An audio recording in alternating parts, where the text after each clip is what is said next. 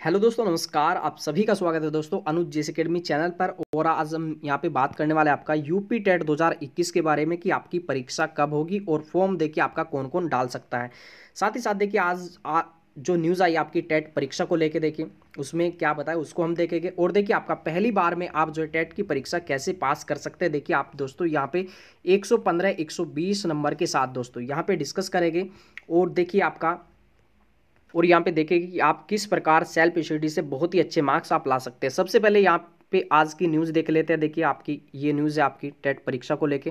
देखिए UP T T दो हज़ार बीस अब जूनियर हाई स्कूल शिक्षक भर्ती के बाद होगी। यानी कि जो जूनियर एडिड जो एडिड में जूनियर की भर्ती आई है। ये आपकी जो परीक्षा होगी यूपी टेट की जूनियर भर्ती के बाद होगी। अब देखिए इसका एग्ज़ाम यहाँ पे देखेंगे, इसके बारे में आपका। उत्तर प्रदेश शिक्षक पात्रता परीक्षा यूपी टी टी दो हज़ार बीस, अब एडिड जूनियर हाई स्कूल शिक्षक भर्ती के बाद होगी यहाँ पे सचिव। यहाँ पे परीक्षा नियामक प्राधिकारी को भेजे गए पत्र में शासन के विशेष सचिव आर बी सिंह की ओर से कहा गया है कि अब एडिड जूनियर हाई स्कूलों में शिक्षक भर्ती के बाद यूपी टीटी जो है यहाँ पे कराई जाएगी आपकी। शिक्षक भर्ती के लिए चयन परीक्षा 18 अप्रैल को होगी। यानी कि आपका 18 अप्रैल को शिक्षक भर्ती का जो, यानी कि आप कह सकते हैं कि जूनियर का सुपर टेट होगा। परीक्षा के बाद उत्तर कुंजी जारी यहाँ पे करने करने सहित यहाँ पे अंतिम परिणाम मई तक घोषित किया जाएगा। मई में एडिड जूनियर हाई स्कूलों के लिए शिक्षक भर्ती पूरी होने के बाद, यानी कि यहाँ पे दिया कि पूरी होने के बाद सचिव परीक्षा नियामक प्राधिकारी की ओर से शासन के पास यूपीटीटी के लिए तीसरी बार प्रस्ताव भेजना होगा।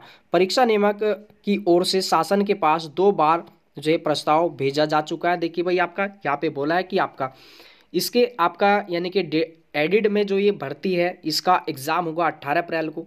मई में आपकी ये जो है पूरी होगी। उसके बाद यहाँ पे बोला कि उसके बाद यहाँ पे प्रस्ताव भेजा जाएगा। तो यहाँ पे आप आइडिया लगा सकते हैं कि आपका किस माह में आपका ये पेपर होगा। तो ये भाई आपका मान लीजिए मई में प्रस्ताव भेजा जाएगा। तो ये जून में जो है आपका शुरू होगा और इसके बाद जो आपका जो एग्ज़ाम होगा लगभग वो हो जाएगा आपका जुलाई के आसपास भाई देखिए। तो मान के चल सकते कि आपका जून या जुलाई में आपकी ये जो है परीक्षा होगी यूपी टेट की। यहाँ पे देखिए बहुत सारे भाई बहनों का यहाँ पे जो है क्वेश्चन है कि यहाँ पे कि परीक्षा के लिए जो है फॉर्म कौन कौन डाल सकते हैं। भाई देखिए आपका जो है बीएड और आपका बीटीसी वाला जो है 2020 में एग्ज़ाम नहीं हुआ है। इसमें जो है प्रमोट किए गए थे। अब वे आ गए आपका 2021 में और आपका यानी कि आपका जो है बीएड फाइनल ईयर में। तो देखिए फ़र्स्ट ईयर में इन्होंने एग्ज़ाम नहीं दिया टेट का। उसके बाद जो है आपका 2021 में अब उनका जो है फाइनल हो जाएगा लगभग जून के आसपास तक उनका सेशन तो अब यहाँ पे देखिए, उनके पास ये जो होगा, पहला मौका होगा और देखिए, इसमें जो है फॉर्म डलवाया जाएगा, ठीक है, क्योंकि इन्होंने फ़र्स्ट ईयर में भी एग्ज़ाम नहीं दिया। और जो आपकी शिक्षक भर्ती आने वाली है प्राथमिक में, वो आपका जैसे टेट की परीक्षा होगी, उसी के बाद आपकी जो है प्राइमरी में जो भर्ती आएगी। उसी में आप जो है टेट क्लियर करने के बाद जो है अप्लाई कर सकते हैं। तो ये देखिए, आपका ये जो फॉर्म है ना, इसको क्यों आगे इतना बढ़ाया जा रहा है? वजह यही है, क्योंकि टेट की जो परीक्षा है, इसीलिए लेट की जा रही है, क्योंकि देखिए आपका जो है साल का लगभग जो है अंत आ जाए, टेट की परीक्षा होगी, उसके बाद जो है प्राथमिक में जो भर्ती निकलेगी। जिससे कि इलेक्शन भी जो है पास में आ जाएगा। अब इसके बाद देखिए यहाँ पे बात करेंगे हम देखिए आपका पहली बार में कैसे आप पास कर सकते हैं और कोचिंग और यहाँ पे सेल्फ स्टडी के बारे में देखिए भाई। तो देखिए इससे पहले जो है आप टेट के लिए क्वालिफाइंग मार्क्स देख लीजिए। देखिए यहाँ पे जर्नल मेल और फीमेल के लिए यहाँ पे जो है नब्बे क्वेश्चन आपका जो है राइट होना चाहिए प्राथमिक हो या आपका जूनियर हो। इसके बाद आपका ओबीसी एससी एसटी के लिए यहाँ पे बयासी क्वेश्चन आपका मेल और फीमेल के लिए। देखिए, आपका जो है क्लियर होना चाहिए। बाकी आपका देखिए निगेटिव मार्किंग इस एग्ज़ाम में नहीं होती है तो अच्छे से भी आप तैयारी करते रहिए। अब हम बात करेंगे, देखिए आपका सेल्फ स्टडी से आप जो अच्छे नंबर कैसे ला सकते हैं। इससे पहले देखिए आप जो है सिलेबस देख लीजिए भाई आपका यहाँ पे। ये प्राथमिक में है आपका और ये आपका है जूनियर का देखिए आपका। ठीक है? देखिए आपका इसमें पाँच सब्जेक्ट होते हैं आपका। यहाँ पे पहला जो सब्जेक्ट है, आपका हिंदी का है। इसमें आपका जो है, तीस क्वेश्चन आपका पूछा जाएगा। सेकंड आपका यहाँ पे लैंग्वेज है, आपका संस्कृत इंग्लिश और आपका उर्दू में से देखिए आपका भाई ठीक है, कोई भी आप एक लैंग्वेज ले सकते हैं जो कि आपका अच्छी है। और इसके बाद यहाँ पे तीसरा जो सब्जेक्ट है, ये आपका बाल विकास है, जो कि आपने बीएड या बीटीसी में आपने पढ़ा होगा। इसके बाद यहाँ पे जो है, चौथा सब्जेक्ट जो है, आपका पर्यावरण है। इसमें आपके तीन चार सब्जेक्ट पूछे जाते हैं। एक तो हो जाएगा आपका ज्योग्राफी का जो पार्ट होता है, आपका वो होगा इसमें एक आपका पॉलिटी पॉलिटी के लगभग दस क्वेश्चन आपके यहाँ पे पूछे जाएँगे। इसके बाद आपका जो है बायो का लगभग बायो का छः सात क्वेश्चन पूछा जाएगा और आपका यूपी स्पेशल से क्वेश्चन आएगा। तो इसको अच्छे से तैयार करना और यहाँ पे पांचवा जो सब्जेक्ट है आपका, ये गणित है। सभी के लिए आपका जो फ़र्स्ट पेपर होता है, ये कॉमन होता है आपका। ठीक है?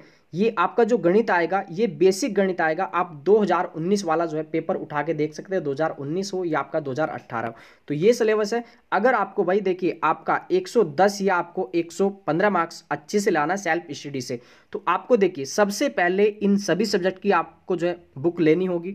बुक देखिए अलग अलग सब्जेक्ट के लिए। बाकी देखिए, आपका जो बाल विकास है, इसके लिए बीएड और आपकी बीटीसी की जो बुक्स होगी, वो लीजिए। और इसी के साथ साथ कोई एक जो है, एक या दो आप ऐसी बुक लीजिए जिसमें कि आपका जो है टॉपिक वाइज दिया हो। हिंदी के लिए आपका जो है आदित्य पब्लिकेशन या लूसेंट काफ़ी जो है अच्छी है। इसके बाद आपका गणित के लिए शारदा जो पब्लिकेशन की बुक आती है, वो अच्छी है इसमें आपका। ठीक है ना? तो इसमें आपको पाँचों सब्जेक्ट पे जो है फोकस करना है। ऐसा नहीं कि आपने दो या तीन सब्जेक्ट टॉप कर लिए और आपने एक सब्जेक्ट वीक कर लिया। अगर आपका एक सब्जेक्ट भी वीक होगा तो फिर आप जो 115 116 नंबर नहीं ला पाओगे। तो आपको देखिए, अगर मान लीजिए कोई आपका सब्जेक्ट जो है, ज़्यादा समय आपने नहीं दिया उस पर तो आप इसका देखिए कोचिंग भी ले सकते हैं। अगर आप बिना कोचिंग के इसको कवर कर सकते हैं अच्छे से तो आप उसको कवर कर लीजिए भाई। अब यहाँ पे देखिए, आपका जो जूनियर वाला है, ये सेकंड आपका पेपर है इसमें। ये तीन सब्जेक्ट तो आपके कॉमन है। देखिए, आपका पहला आपका हिंदी, दूसरा यहाँ पे आपकी लैंग्वेज संस्कृत इंग्लिश उर्दू में से कोई एक आपका, और बाल विकास। इसके बाद यहाँ पे जो आपका, ये आपका जो चौथा पोर्शन है ये यहाँ पे आपका साठ क्वेश्चन आएगा इसमें। अगर आपने किया है बीएससी तो आपका यहाँ पे फिजिक्स केमिस्ट्री मैथ और आपका बायो से पूछा जाएगा साठ क्वेश्चन अगर आपने देखिए, किया होगा बीकॉम किया होगा भाई, देखिए आपका इसमें। तो या आपने बीए किया होगा तो साठ क्वेश्चन जो आएगा यहाँ पे आपका हिस्ट्री आएगा ज्योग्राफी आएगा पॉलिटी आएगा इकोनॉमिक्स आएगा, ठीक है? तो यहाँ से आपका क्वेश्चन पूछा जाएगा और साथ ही साथ देखिए, इसमें जो है विविध वाला जो पार्ट होता है जीएस का, वो भी इसमें ऐड कर दिया जाता है। तो देखिए, ये जो आपका पोर्शन होगा, आपने बीए किया होगा, ठीक है? तो वहाँ से आपका कवर हो जाएगा या आप कंपटीशन की तैयारी कर रहे हो तो ये वाला जो पार्ट होता है ना आपका साठ क्वेश्चन वाला, ये बहुत ही आपका इजी क्वेश्चन आता है इसमें आपका। तो इसको अच्छे से तैयार करिएगा। बाकी देखिए फ़र्स्ट पेपर में ये जो तीन सब्जेक्ट आप तैयार करोगे सेकंड में आपका यहीं से कवर हो जाएगा। बिल्कुल सेम होता है ये आपका सिलेबस चलिए भाई, और देखिए, अच्छे से मैंने बताया कि आपका सिलेबस मैंने बता दिया आपको। अगर आपको 115 मार्क्स जो है आपको लाने हैं तो आपको देखिए सिलेबस की जानकारी होनी चाहिए। उसके बाद आपका जो है पेपर का ट्रेंड आपको मालूम हो, उसके लिए आपने सिलेबस देख लिया।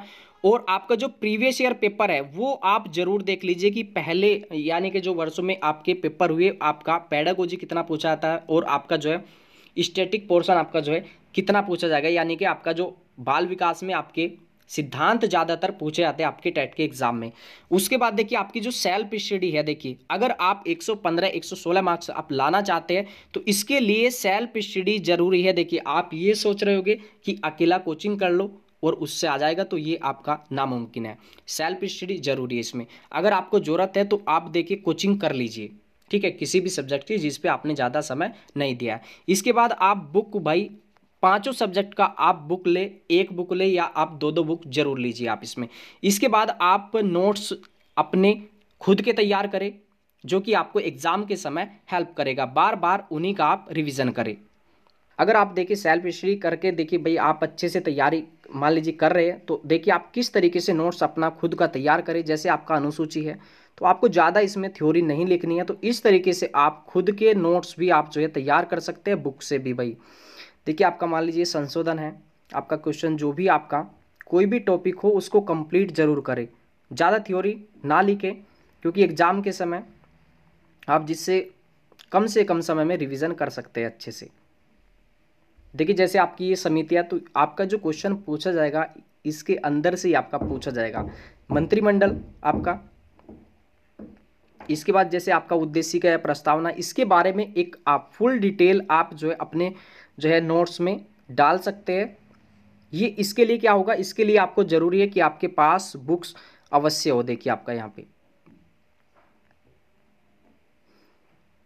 इसके बाद देखिए आपका अनुच्छेद है तो आप जो इसमें इसके बाद आप राष्ट्रपति के बारे में, राष्ट्रपति के बारे में कंप्लीट जो डिटेल्स है, आप एक से दो पेज में कैसे तैयार कर सकते हैं, देखिए आपका इसमें। तो इस तरीके से आप हर एक सब्जेक्ट के नोट्स तैयार करके आप अच्छे नंबर ला सकते हैं और सेल्फ स्टडी इसके लिए ज़रूरी है भाई।